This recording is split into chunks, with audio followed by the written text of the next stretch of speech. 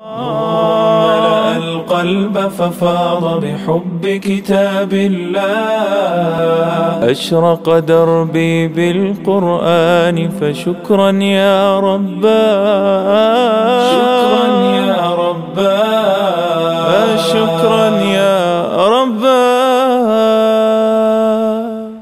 bukti bahwasanya Allah Subhanahu wa taala menginginkan kebaikan bagi kita semua. Dipertemukannya kita di tempat yang berberkah dalam rangka menunaikan salah satu ibadah kepada Allah Azza wa Jalla. Seperti biasa jemaah sekalian, pada tahun-tahun yang lalu setiap kita kedatangan syekh kita, Syekh Abdullah bin Hamad Az-Zaidani hafizahullah taala, kita selalu mengambil manfaat dan faedah-faedah dari beliau. Utamanya faedah-faedah diniyah. dan insyaallah taala pada kesempatan kali ini syekh kita akan membahas tentang wasiat Luqman al-Hakim dalam surah Luqman. Silakan bagi ikhwan yang punya mushaf untuk untuk membuka surah Luqman wasiat beliau terhadap putranya untuk mempergunakan waktu dengan sebaik-baiknya fa li fadilati syekh falyatafaddal mashkurin ma'jurin. Alhamdulillah نحمده ونستعينه ونستغفره ونتوب إليه ونعوذ بالله من شرور أنفسنا وسيئات أعمالنا. من يهده الله فلا مضل له ومن يضلل فلا هادي له وأشهد أن لا إله إلا الله وحده لا شريك له وأشهد أن محمدا عبده ورسوله صلى الله عليه وعلى آله وصحبه وسلم تسليما كثيرا. أما بعد فالسلام عليكم ورحمة الله وبركاته. وحياكم الله أيها الإخوة وأيتها الأخوات في هذا المجلس من مجالس العلم والذكر التي يحبها الله ورسوله ويثني الله سبحانه وتعالى على أهلها ويذكرهم في من عنده. Setelah beliau memuji kepada Allah Azza wa Jal kemudian beliau mengucapkan salam tahniah kepada kita semua. Beliau menjelaskan bahwa keberadaan kita di tempat ini adalah keberadaan yang berberkah. Kita mencintai Allah Azza wa Jal bukti kecintaan kita dengan keberadaan kita di tempat ini. Dan semoga Allah Subhanahu wa taala juga mencintai kita semua. وكما ذكر الأخ كلمتنا هذه سوف تكون وقفات مع وصايا لقمان لابنه كما جاءت في سورة لقمان وقبل أن نبدأ لعل أحد الإخوة أن يقرأ الآيات Eh, seperti yang kita sebutkan tadi, pembahasan kita pada kesempatan kali ini adalah wasiat Luqman kepada putra beliau. Namun sebelum kita membahas masalah ini kita persilahkan salah satu dari Ihwa untuk membacakan eh, wasiat Luqman terhadap putranya pada surah Luqman. A'udzu billahi minasy syaithanir rajim. Wa idh qala Luqman li ibnihi wa huwa ya'idhuhu ya bunayya la tusyrik billah. إن الشرك لظلم عظيم. ووصينا الإنسان بوالديه حملته أمه وهنا على وهن. حملته أمه وهنا على وهن. وفصاله في عامين أن اشكر لي أن اشكر لي ولوالديك إلي المصير. وإن جاهداك على أن تشرك بي ما ليس لك به علم فلا تطعهما فلا تطعهما وصاحبهما في الدنيا معروفا. واتبع سبيل من أناب إلي ثم إلي مرجعكم فأنبئكم بما كنتم تعملون. يا بني إنها إن تك مثقال حبة من خردل فتكن في صخرة فتكن في صخرة أو في السماوات أو في الأرض يأت بها الله. إن الله لطيف خبير.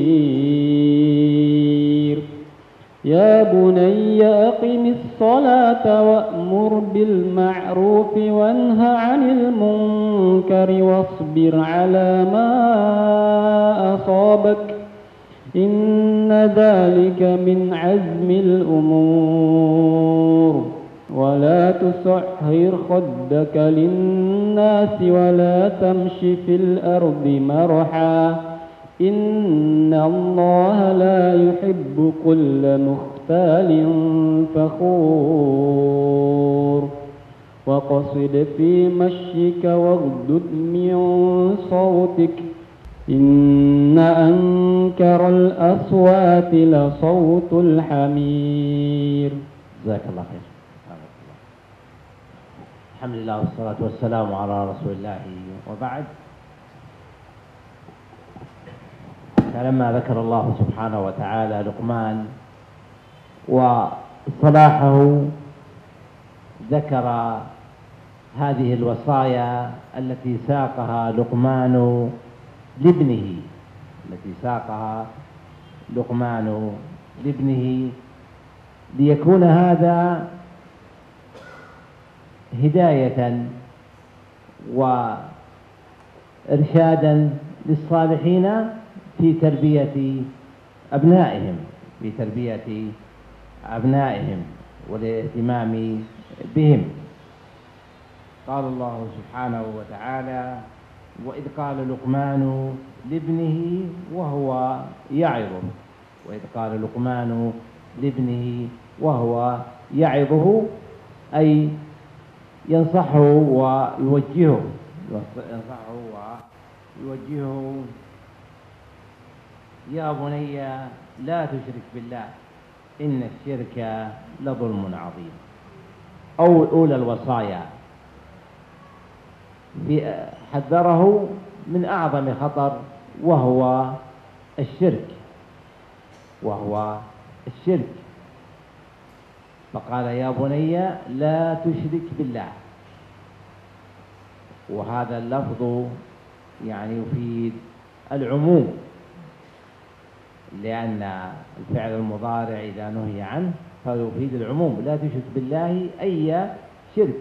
لا أكبر ولا أصغر ولا خفي ولا ظاهر ولا أقول آه، أي شيء من ذلك. إن الشرك لظلم عظيم. إن الشرك لظلم عظيم. الظلم أصله الاعتداء على حق الغير. والشرك أعظم الظلم وذلك لأنه صرف شيء مما يجب لله لغيره. صرف شيء مما يجب لله لغيره لأن الواجب على العبد هو أن يعبد الله وحده لا شريك له. كما قال الله تعالى وما خلقت الجن والإنس إلا ليعبدون قال ابن عباس ليوحدون فمن صرف شيئا لأحد من الخلق فأقول فقد وقع في الشرك ووقع في الظلم لأنه صرف شيئا مما يجب لله لغيره نعم ketika Allah Subhanahu wa taala berbicara tentang kisah Luqmanul Hakim Allah Subhanahu wa taala menjelaskan tentang wasiat beliau kepada putranya dan ini tujuannya agar manusia bisa mengambil pelajaran orang-orang saleh mengambil hidayah di dalam mentarbiah mendidik anak-anak mereka. Wasiat yang pertama yang Luqmanul Hakim sampaikan kepada putranya adalah wasiat yang paling besar tentang suatu perbuatan buruk yang paling besar yaitu beliau mewanti-wanti putranya dari perbuatan syirik yaitu firman Allah Subhanahu wa taala wa iz qala luqman li ibnihi wa huwa ya'idhuhu ya bunayya la tusyrik billah lafaz ini adalah lafaz yang penunjukannya atau sifatnya umum. Di dalam bahasa Arab, fi'il mudari itu menunjukkan keumuman. La tusyrik billah bahwa tidak boleh janganlah engkau melakukan suatu kesyirikan apa pun bentuknya, yang kecil ataupun yang besar. Inna syirka la zulmun azim karena sesungguhnya kesyirikan itu adalah kezaliman yang paling besar. Kenapa dianggap suatu kezaliman yang paling besar? Karena di sini ada i'tida Allah. Orang yang berbuat syirik itu seperti orang yang menentang Allah Subhanahu wa taala. Orang yang melakukan perlawanan kepada Allah Subhanahu wa taala. Sebab dia mengalihkan sesuatu yang merupakan hak Allah Subhanahu wa taala yaitu bahwasanya dia berhak untuk disembah. Hanya dialah zat yang berhak untuk diibadahi. Dan menjadi wajib bagi setiap manusia untuk beribadah hanya kepada Allah Subhanahu wa taala. Sebagaimana firman Allah wa ma khalaqtul jinna wal insa illa liya'budun. Berkata Ibnu Abbas radhiyallahu taala anhuma liya'budun artinya liwahidun. Tiada aku menciptakan jin dan manusia kata Allah kecuali hanya untuk beribadah kepadaku Ibnu Abbas mengatakan liya'budun artinya liwahidun yaitu mengesahkan aku dan tidak mensyarikatkan aku. ثم قال الله تعالى ووصينا الإنسان بوالديه وصينا الإنسان بوالديه أي أمه وأبيه حملته أمه وهنا على وهن حملته أمه وهنا على وهن يعني تعبا ومشقة. تعبا ومشقة. على تعب ومشقة متتابعة خلال حمله. وفصاله في عامين. وفصاله أي فطامه في عامين أي ترضعه بعد ذلك عامين. أن اشكر لي ولوالديك إلي المصير. يقول الله تعالى أن اشكر لي هذا أمر للعبد بالشكر بشكر الله تعالى أولا لأن كل نعمة إنما هي من الله سبحانه وتعالى حتى لو جاءت عن طريق أحد من البشر. ولوالديك وقرن حق الوالدين بحقه لعظم حقهما. أن يشكر لي ولوالديك ويشكر لوالديك إلي المصير إلي المصير أي فأجازيك على ذلك. والشكر يكون بثلاثة أشياء. أولا باعتراف القلب أن يعترف العبد بقلبه لله سبحانه وتعالى بالإنعام ويستشعر ذلك وأن يثني بلسانه على الله سبحانه وتعالى.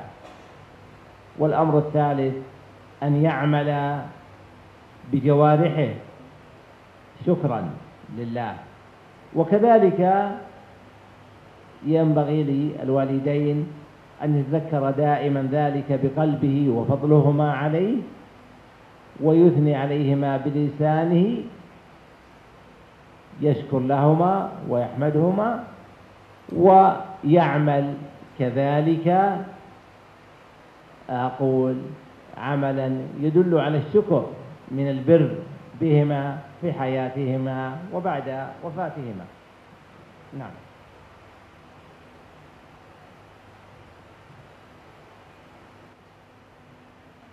Kemudian selanjutnya Luqmanul Hakim berkata kepada putranya wasainal insana biwalidayhi hamalathu ummuhu wahnan ala wah dan kami perintahkan kepada manusia untuk berbuat baik kepada kedua orang tuanya. Biwalidayhi artinya ibu dan bapaknya. Hamalathu ummuhu wahnan ala wah ibunya yang telah mengandung dia dan merasa lemah silih berganti bertambah lemah. Wa fisaluhu fi amain lalu disusuinya selama dua tahun.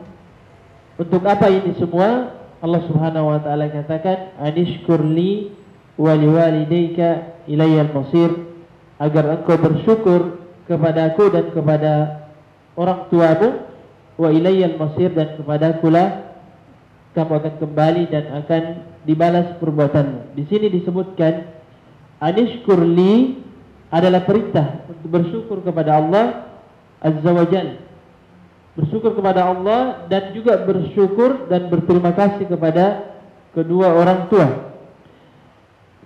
Bersyukur di sini dalam tiga hal atau dengan tiga cara. Yang pertama al-i'tiraful qalb bil mengakui nikmat yang datang dari Allah Azza wa Jal. Bahwa semua yang dirasakan nikmat-nikmat itu tiada lain datangnya dari Allah Azza wa Jal. Yang kedua adalah bersyukur dengan lisan dengan memuji kepada Allah Azza wa Jal. Dan yang ketiga bersyukur dengan beramal beramal dengan anggota badan membuktikan kesyukuran itu dengan pengamalan. Adapun bersyukur kepada kedua orang tua yaitu dengan sering memujinya ia melakukan dan melaksanakan apa yang membuat atau mendatangkan keridaannya ya ketika diperintahkan disuruh atau dilarang dari sesuatu maka bentuk kesyukuran kita kepada kedua orang tua adalah selalu memujinya dan taat berbakti kepada keduanya. ثم قال سبحانه وتعالى وإن جاهداك على أن تشرك بي ما ليس لك به علم فلا تطعهما. وإن جاهداك أي وإن جاهدك والداك أي بلغ معك الجهد في السعي في دعوتك إلى الشرك والضلال. قال تعالى وإن جاهداك على أن تشرك بي. يعني بذل جهدهما في إضلالك ودعوتك إلى الشرك قال تعالى فلا تطعهما. آه، تشرك به ما ليس لك به علم. يعني هذا المقصود يعني في دعوة ما ليس لك به علم. يعني آه، من الدعوة يقول إلى الشرك والجهاد والجهاد لذلك. قال الله تعالى فلا تطعهما. فلا تطعهما. لأن الطاعة إنما هي بالمعروف ولا طاعة لمخلوق في معصية الخالق. قال الله تعالى فلا تطعهما وصاحبهما في الدنيا معروفا. أي فلا تطعهما في دعوتهما إلى الكفر والشرك. ولكن قال الله تعالى وصاحبهما في الدنيا معروفا. مع أن هذا حالهما إلا قال الله تعالى وصاحبهما. والمصاحبة هي الملازمة هي الملازمة. وصاحبهما في الدنيا معروفة يعني بالمعروف. لا ينقطع يعني معروفك وإحسانك إليهما. واتبع سبيل من أناب إليه أما في الاتباع فقال الله تعالى واتبع سبيل من أناب إليه أي من واتبع سبيل أي طريق. من أناب أي رجع إلي. فالإنابة هي الرجوع أي من رجع إلى الله ووحد الله وانقاد لأمره واتبع سبيل من أناب إلي ثم إلي مرجعكم فأنبئكم بما كنتم تعملون. ثم إلي مرجعكم يعني يوم القيامة فأنبئكم أي فأخبركم بما كنتم تعملون بما كنتم تعملون وما يترتب عليه. فالمقصود يعني هنا أنه في الدنيا يصاحبهما أقول بالمعروف وهذا كله لا يخفى على الله سبحانه وتعالى. نعم.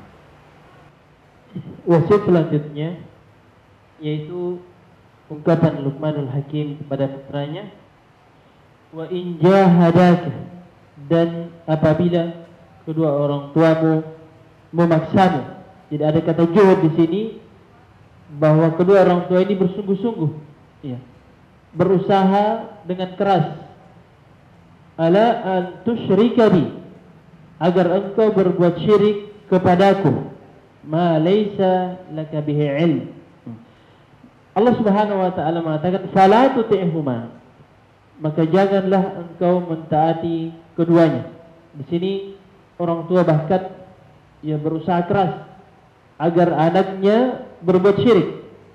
Tetapi dalam hal ini tidak diperbolehkan seorang anak mentaati kedua orang tuanya. Sebab inna ta'ah fil ma'ruf. Ketaatan itu hanya pada hal-hal yang baik dan tidak ada ketaatan kepada sesama makhluk jika dalam bermaksiat kepada Allah Azza wa. Kemudian Allah Subhanahu wa taala mengatakan wasahibuhuma fid dunya ma'rufa. Akan tetapi wasahibuhuma tetaplah menyertainya. Ya mulazamah. Selalu bersamanya, jangan tinggalkan dia. Tetaplah berbakti kepada keduanya, berbuat baik kepada keduanya. Ya. Dan setelah itu dalam hal ittiba Ya, Allah Subhanahu wa taala mengatakan wattabi sabila man anaba ilayya. Ikutilah orang-orang atau jalannya orang-orang yang selalu ingin kembali kepadaku. Ya. Mentauhidkanku dan beribadah kepadaku. Ya. Thumma ilayya marji'ukum lalu kepadakulah kalian akan kembali atau tempat kembali kalian fa unabbiukum yaitu di hari kiamat lalu aku akan kabarkan kepada kalian bima kuntum ta'malun apa-apa yang telah kalian kerjakan. ثم قال تعالى أيضا في وصية لقمان التالية يا بني إنها إن تكو مثقال حبة من خردل فتكن في صخرة أو في السماوات أو في الأرض يأتي بها الله. إن الله لطيف خبير. يا بن يقول لقمان لابنه يا بني إنها إن تكون يعني إن تكون آه، آه، أي أن يكون شيء أن يكون شيء أي شيء مثقال حبة من خردل. أي وزن حبة من خردل. وحبة الخردل متناهية في الصغر. الخردل معروف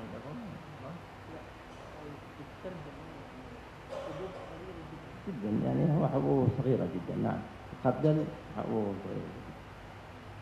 أقول إنها إن تكن يعني مثقال حبة من خردل أي إن تكون يكون العمل وزن حبة صغيرة جدا وحب الخردل من أصغر الحبوب جدا لا يكاد يرى.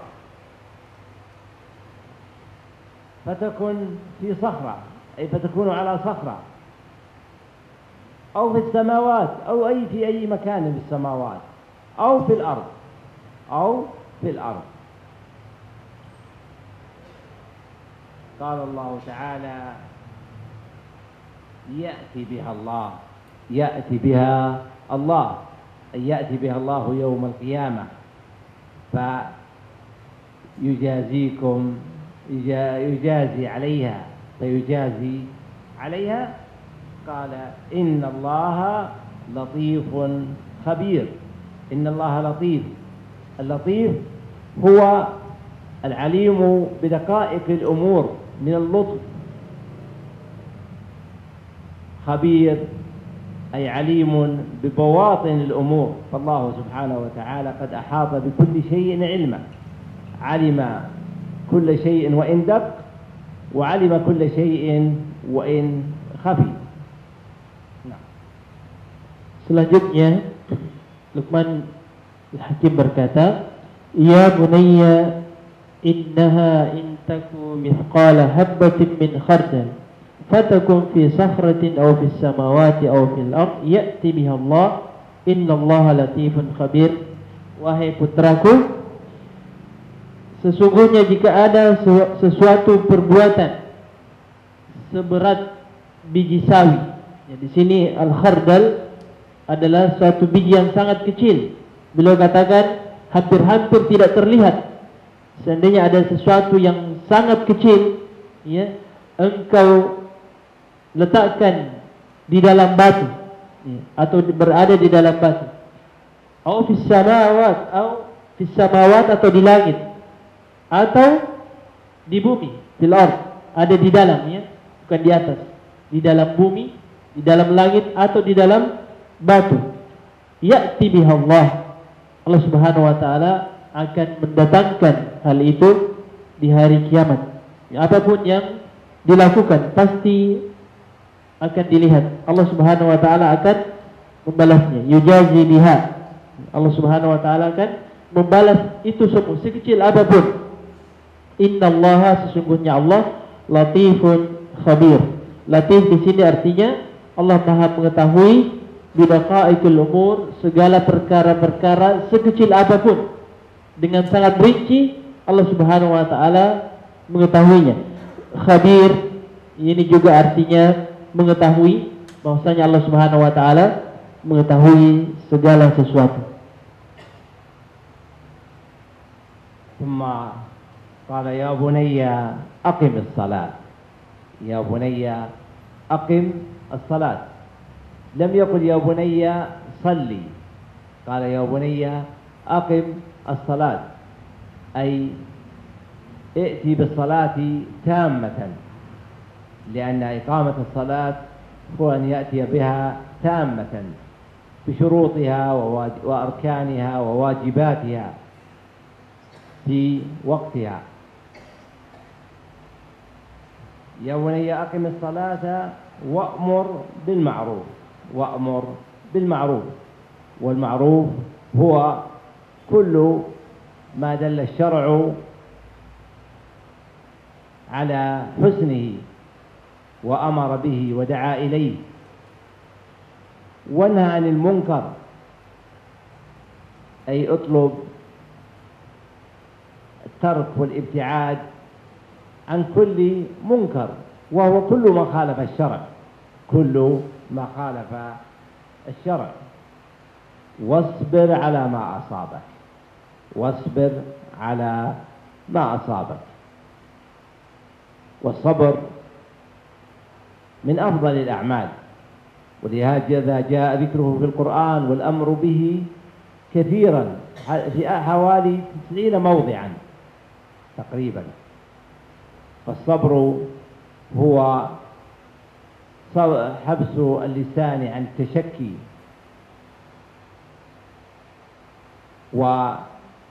والنفس والقلب عن الجزع. والجوارح عن فعل ما لا يدل على الرضا. واصبر على ما أصابك. على ما أصابك. أي كل ما أصابك. كل ما أصابك من المصائب الدنيوية. وجاء الأمر بالصبر هنا لأن من أمر الناس بالمعروف ونهاهم عن المنكر فلا بد أن يؤذى. فلا بد أن يؤذى. إما باللسان أو باليد أو غير ذلك. فجاء فأمره بالصبر. فأمره بالصبر هنا. إن ذلك من عزم الأمور. إن ذلك من عزم الأمور. أي أن القيام بهذا يعني تحقيق التوحيد والتزام طاعة الله سبحانه وتعالى والأمر بالمعروف والنهي عن المنكر والصبر على هذا كله من عزم الأمور يعني من الأمور يعني من الأمور العظيمة من الأمور العظيمة. نعم. Setelah itu jemaah sekalian Luqmanul Hakim berwasiat kepada putranya. Ya bunayya aqimis salah Wahai putraku dirikanlah salat Dan beliau di sini tidak mengatakan Ya bunayya salli. Iya. Dalam bahasa Arab berbeda antara iqamatus salat dan salli. Maknanya di sini bahwa Luqmanul Hakim memerintahkan putranya untuk menegakkan salat dengan sebenar-benarnya memenuhi syarat-syaratnya, rukun-rukunnya, wajib-wajibnya dan juga sunnah-sunnahnya dikerjakan tepat pada waktunya. Jadi tidak sekedar mendirikan salat dan mengerjakannya tetapi memenuhi semua syarat-syarat dan apa-apa yang disyariatkan di dalam salat. Setelah itu beliau mengatakan wa'mur bil ma'ruf. Perintahkanlah kepada yang ma'ruf dan yang dimaksud dengan al-ma'ruf di sini segala sesuatu yang dipandang syariat sebagai sesuatu yang baik dan syariat mengajak kepadanya. Wanha 'anil munkar dan cegahlah dari kemungkaran dan al-munkar di sini adalah segala sesuatu yang melanggar syariat. Itulah yang dicegah dan diperintahkan. Setelah itu beliau mengatakan wasbir ala ma asabak. Bersabarlah atas apa-apa yang menimpamu, apa saja. Karena di dalam melakukan ini semua membutuhkan kesabaran. As-sabar, kesabaran ini adalah min afdalil amal, perbuatan yang paling afdal. Bahkan disebutkan di dalam Al-Qur'an sekitar 90 kali, di 90 tempat. Dan as-sabar ini artinya menahan diri ya untuk mengeluh. Jadi bersabar itu adalah menahan diri agar tidak mengeluh dari apa-apa yang menimpa kita. Iya.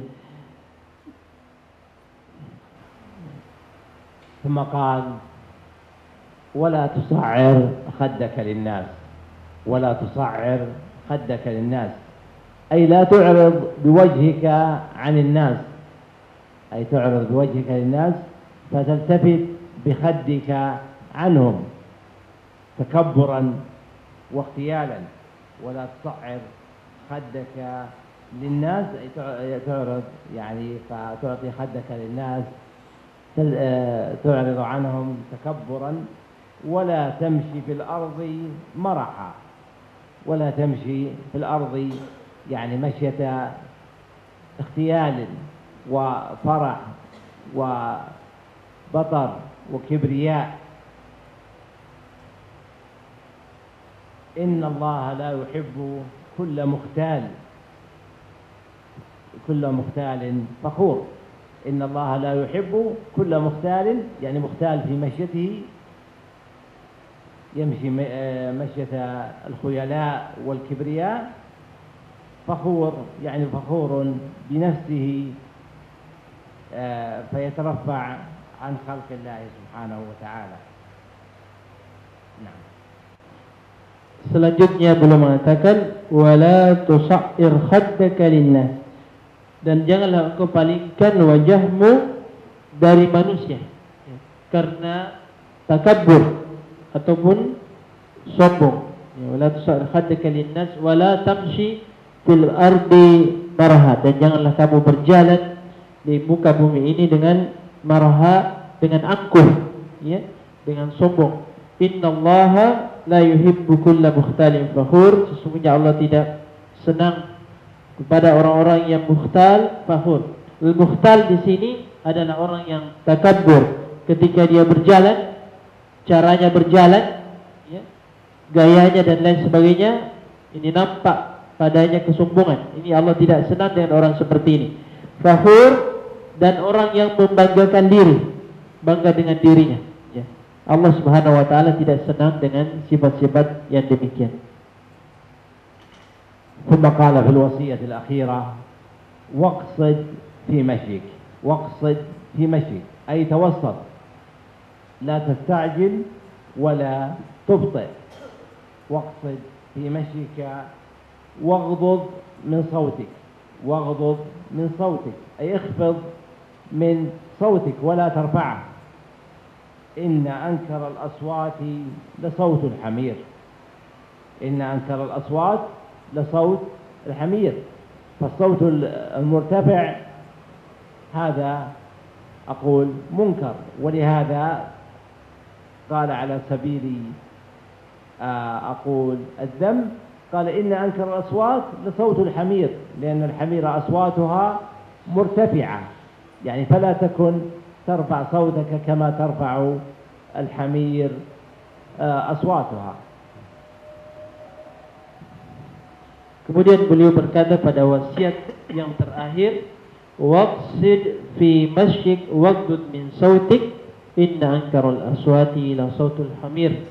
Dan sederhanalah kamu di dalam berjalan, maksudnya di muka bumi ini, dan lunakkanlah suaramu. Sesungguhnya seburuk-buruk suara adalah suara keledai. Karena suara keledai itu sangat besar, ya, murtafiah dan ini perbuatan yang tidak disenangi oleh Allah Azza wa Jalla. في هذه الوصايا عدة دروس وفوائد. الفائدة الأولى هي وجوب تعاهد الأولاد بالتربية والتعليم والنصح. كما قال النبي صلى الله عليه وسلم كلكم راع وكلكم مسؤول عن رعيته.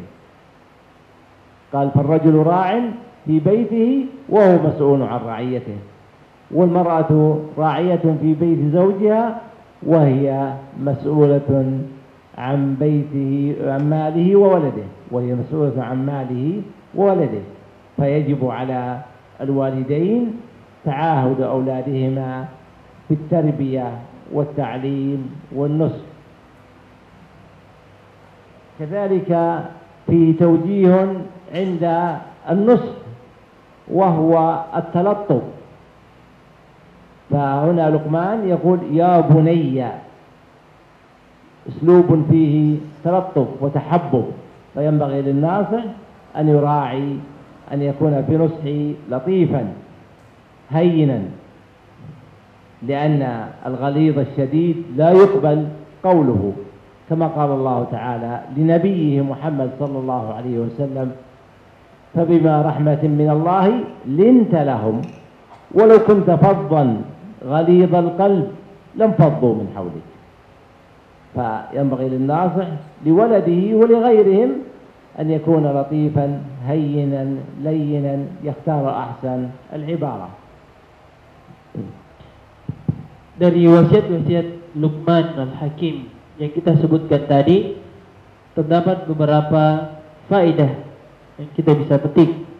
Yang pertama adalah pentingnya untuk memberikan perhatian yang besar terhadap anak-anak. Dari setiap tahapan fase perkembangannya ada ta'ahud. Betul diperhatikan dengan baik. Orang tua memberikan perhatian yang besar di dalam mendidik anak-anaknya. Sebagaimana Nabi kita sallallahu alaihi wasallam bersabda kullukum ra'in wa kullukum mas'ulun an ra'iyatihi. Setiap kalian adalah pemimpin dan tiap-tiap kalian akan bertanggung jawab terhadap siapa yang dia pimpin. Bahkan seorang istri juga bertanggung jawab di rumah suaminya dia bertanggung jawab terhadap harta dan anak-anak suaminya. Jadi keduanya orang tua ini ayah dan ibu bekerja sama di dalam mendidik anaknya. Faedah yang kedua adalah berlemah lembut di dalam mendidik anak-anak. Karenanya Di dalam ayat ini Luqmanul Hakim berkata ya bunayya. Ini di dalam bahasa Arab ada panggilan kasih sayang. Ya, wahai putra kesayanganku, ya bunayya. Ada lemah lembut. Karena orang yang kasar di dalam mendidik itu tidak diterima kadang-kadang ucapannya.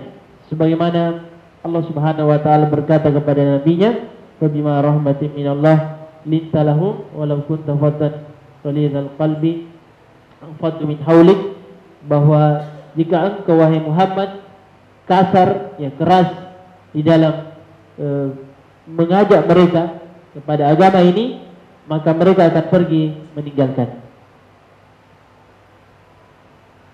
كذلك في الآيات بيان خطورة الشرك خطورة الشرك وقد جاءت النصوص ببيان أنه من أعظم الظلم كما هنا إن الشرك لظلم عظيم وهو أعظم ذنب كما قال النبي صلى الله عليه وسلم آه، لمن سأله عن أي الذنب أعظم قال أن تجعل لله ندا وهو خلقك. ومن خطورة الشرك أن الله لا يغفره أبدا مهما صار أو كبر. كما قال الله تعالى إن الله لا يغفر أن يشرك به. ويغفر ما دون ذلك لمن يشاء. فالشرك لا يغفر سواء كان شركا أكبر أو أصغر. كذلك أن المشرك خالد المشرك شركا أكبر خالد مخلد بالنار. كما قال الله تعالى إنه من يشرك بالله فقد حرم الله عليه الجنة ومأواه النار وما للظالمين من أنصار. ففيها أقول وجوب التحذير والحذر من الشرك بشتى أنواعه Selanjutnya para ikhwan sekalian, faedah dari ayat ini adalah penjelasan tentang bahayanya kesyirikan atau berbuat syirik. Di dalam ayat ini disebutkan bahwa kesyirikan itu adalah kezaliman yang paling besar. Inna syirka la zulmun azim. Dalam ayat yang lain disebutkan bahwa syirik itu adalah dosa yang paling besar. Ya. Disebutkan di dalam sebuah hadis ketika salah seorang sahabat bertanya kepada Nabi, dosa apakah yang paling besar? Ayu dzambin a'zam? Maka Nabi mengatakan antaja'ala lillahi niddan dan engkau menjadikan tandingan bagi Allah Subhanahu wa taala padahal dia yang menciptakanmu. Yang ketiga, bahwasanya perbuatan syirik tidak akan diampuni oleh Allah Azza wa Jalla. Ya. Barang siapa yang berbuat syirik, maka Allah Subhanahu wa taala tidak akan mengampuninya. Dan selanjutnya bahwasanya orang yang berbuat syirik itu akan kekal di dalam neraka. Dan كذلك في الآيات بيان وجوب بر الوالدين وجوب بر الوالدين خاصة الأم خاصة الأم. وبر الوالدين من أفضل الأعمال. وعقوقهما أي قطعهما من السبع الموبقات من السبع الموبقات. والله سبحانه وتعالى ونبيه صلى الله عليه وسلم كذلك دائما ما يقررون بين حق الله وحق الوالدين. فيأتي الأمر ببرهما بعد الأمر بالتوحيد والنهي عن عقوقهما بعد النهي عن الشرك وهذا في النصوص ليبين عظم حقهما. كذلك فيها من الفوائد أنه يجب بر الوالدين والإحسان إليهما ولو كانا عاصيين أو أو كافرين بل لو كانوا حتى من دعاة الكفر. فيجب الإحسان إليهما ومعاملتهما دنيا معروفا. Selanjutnya faedah dari ayat-ayat ini adalah penjelasan tentang wajibnya berbakti kepada kedua orang tua, khususnya kepada ibu. Ya, berbakti kepada kedua orang tua adalah perbuatan yang paling afdal sebagaimana disebutkan di dalam hadis dan memutus hubungan dengan orang tua juga disebutkan di dalam hadis bahwa termasuk di antara tujuh hal yang membinasakan. Ia menandakan besarnya perbuatan berbakti kepada orang tua, kemuliaannya, bahwasanya Allah Subhanahu wa taala menyebutkan haknya bersamaan dengan hak kedua orang tua. Ya. Allah Subhanahu wa taala menyebutkan haknya bersamaan, membaringkan penyebutan hak Allah dengan hak kedua orang tua ini menjadi bukti betapa berbakti kepada kedua orang tua adalah perbuatan yang sangat mulia, memiliki tempat yang besar di dalam syariat kita ini dan kewajiban berbakti kepada orang tua ini bahkan ketika orang tua kedua orang tua berbuat maksiat kepada Allah Azza wa Jalla. Bahkan apabila orang tua berbuat kufur dan mengajak kepada kekufuran tetap kepada anak-anaknya untuk berbakti kepadanya. Kedalika في الآيات. وجوب الشكر وجوب شكر الله سبحانه وتعالى.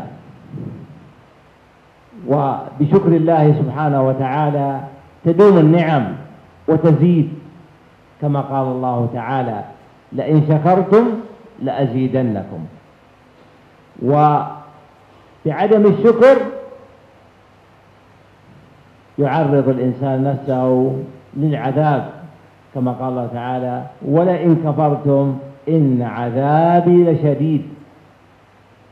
كذلك يجب شكر من أحسن إليك من الخلق وأعظمهم أعظمهم منة عليك والداك ثم من كل من أحسن إليك. وذلك لأن أقول شكر أقول من أحسن هو من شكر الله سبحانه وتعالى ولا يشكر الله من لم يشكر الناس Nah. Selanjutnya kaidah dari ayat-ayat kita bacakan ini adalah kewajiban bersyukur kepada Allah Azza wa Jalla. Dan bahwasanya dengan syukur itu nikmat akan selalu terjaga bahkan Allah akan menambahkannya. Ya sebagaimana dalam firman-Nya la in syakartum la azidannakum. Jika engkau berbuat atau bersyukur maka aku akan tambahkan nikmatmu. Sebaliknya orang yang tidak bersyukur adalah orang yang membiarkan dirinya diadab oleh Allah Azza wa Jalla. Wala in kafartum inna adabi lasyadid bersyukur terhadap siapapun yang berbuat baik kepada kita. Sebab sebutkan bahwa siapa yang tidak bersyukur, tidak tahu bersyukur kepada orang lain, maka dia tidak bersyukur kepada Allah. كذلك في الآيات عموما وتكرر هذا تذكر أن المصير والمرجع إلى الله سبحانه وتعالى. وأن كل شيء قد أحصاه الله سبحانه وتعالى وعلمه واطلع عليه. فهذا يحمل العبد على مراقبة الله سبحانه وتعالى واتخاذ وقاية من عذابه باتباع أوامره واجتناب نواهيه. كذلك فيها من الدروس والفوائد وجوب إقامة الصلاة وجوب إقامة الصلاة أي أداؤها تامة أي أداءها تامة بشروطها وأركانها وواجباتها لأن ما لم تكن كذلك فإنها لا تكون إقامة تامة ولا تنفع النفع التام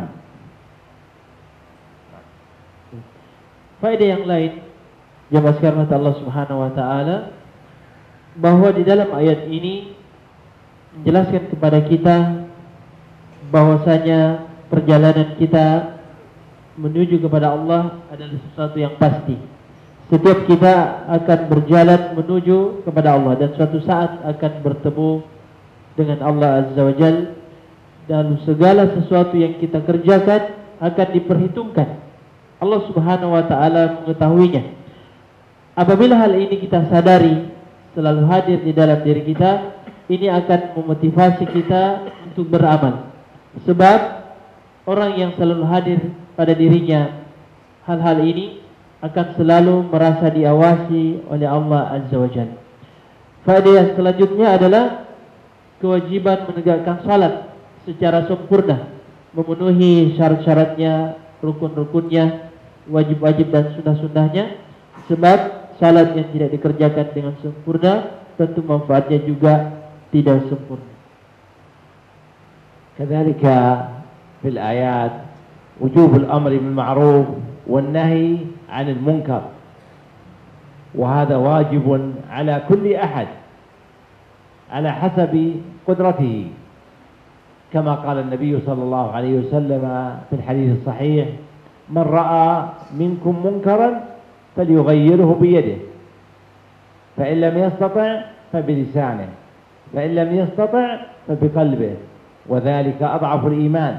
وفي رواية وليس وراء ذلك من الإيمان حبة خردل. هذا فيه الأمر بتغيير المنكر إن كان يستطيع أن يغير باليد فيغير بيده كما في أحد تحت ولايته زوجه أولاده. فإن كان لا يستطيع بيده فبلسانه بالنصح والإرشاد. فإن لم يستطع فبقلبه وهو أن يكره هذا المنكر ويتمنى لو قدر على إزالته.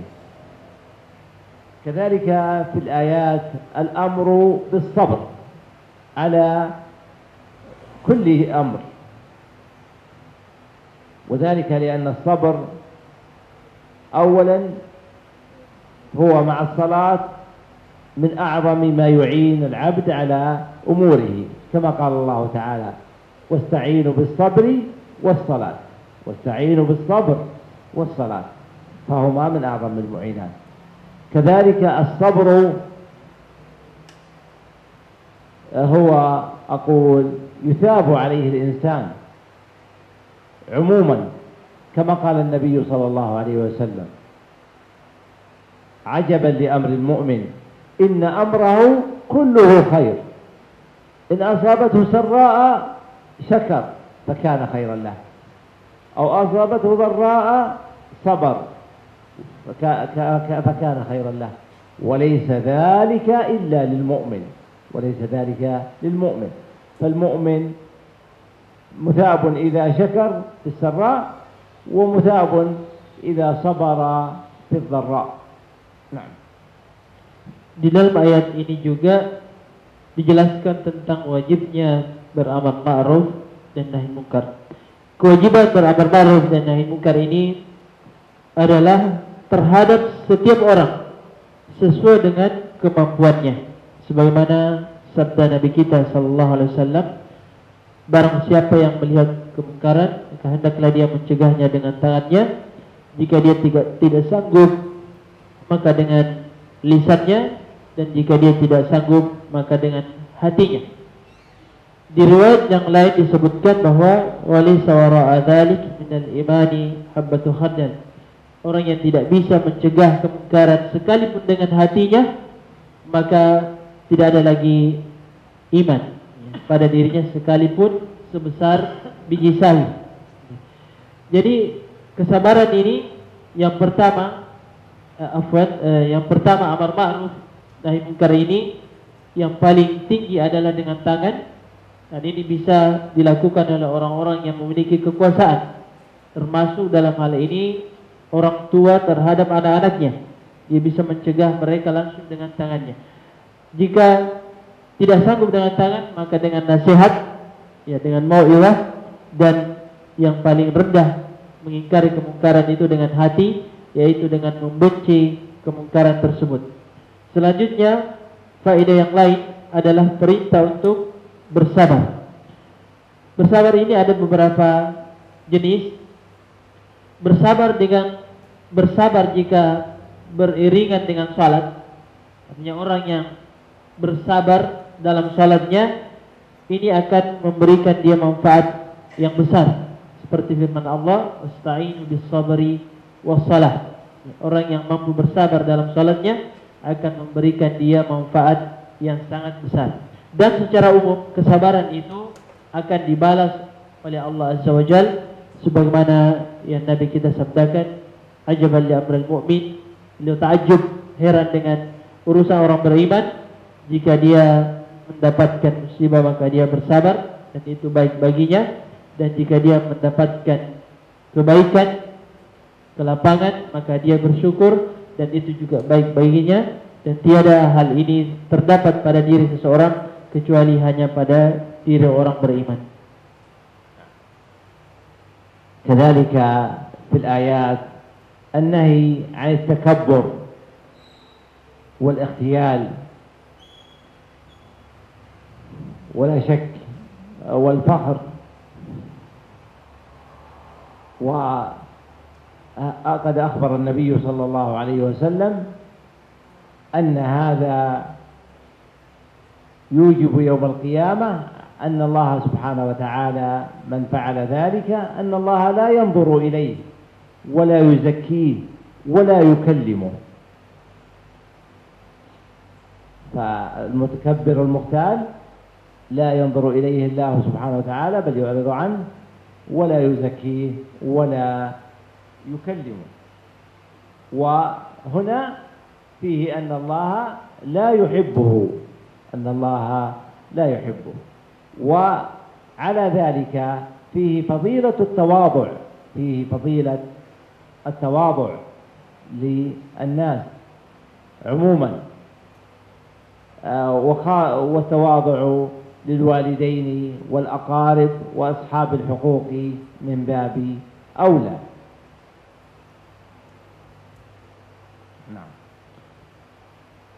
Termasuk dalam hal ini yang masih kata Allah Subhanahu wa taala adalah larangan untuk bersifat takabur dan angkuh.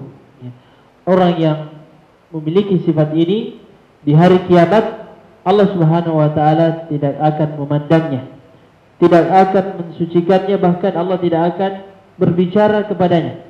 Sebab Allah Subhanahu wa taala tidak senang dengan dengan sifat ini. Sebaliknya jemaah sekalian orang yang tawadu itu disenangi oleh Allah Azza karena memiliki keutamaan. Orang yang tawadu itu memiliki keutamaan.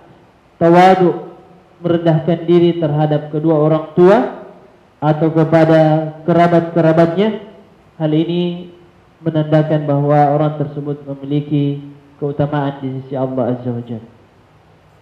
كذلك في الآيات الأمر بالتوسط في المشي بين التباطؤ والتماوت والإسراع الذي يدل على الخفة والحمق أن يكون أقول متوسطا في مشيته وإن أسرع فيها ولكن يكون متوسطا فيها لا بخفة. كذلك فيها الأمر بخفض الصوت وعدم رفعه من غير حاجة وعدم رفعه من غير حاجة. نعم. Faedah yang lain jemaah sekalian disebutkan dalam ayat ini adalah perintah untuk bersikap sederhana ketika berjalan, tidak takabur dan tidak angkuh, sekalipun kadang-kadang kita harus berjalan dengan cepat, tetapi berjalannya juga dengan cara yang sederhana, tidak berlebihan dan tidak melampaui batas.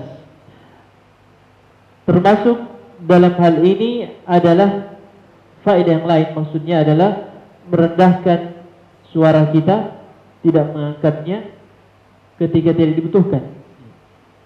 Hukum asal bahwa merendahkan suara itu adalah sifat yang baik dan tidak boleh diangkat kecuali jika memang dibutuhkan.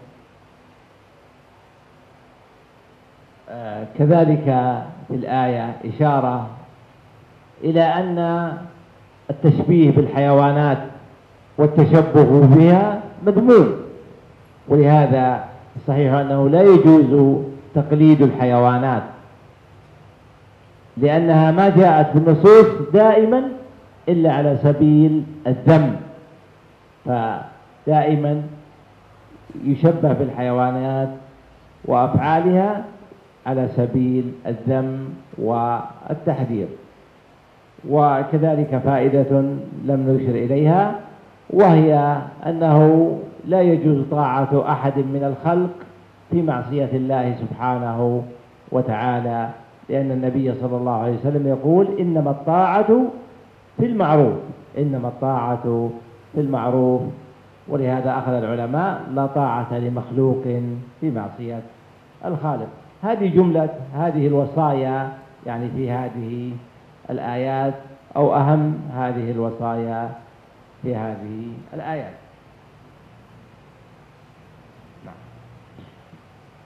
Demikian juga jemaah sekalian dalam ayat-ayat ini ada isyarat bahwasanya menyerupakan seseorang dengan binatang adalah perbuatan yang tercela. Tidak boleh kita menyerupakan seseorang dengan binatang sebab nas-nas yang datang di dalam Al-Qur'an tentunya juga dalam sunnah-sunnah Nabi kita bahwa tidaklah seseorang diserupakan dengan binatang kecuali dalam kondisi dicelah.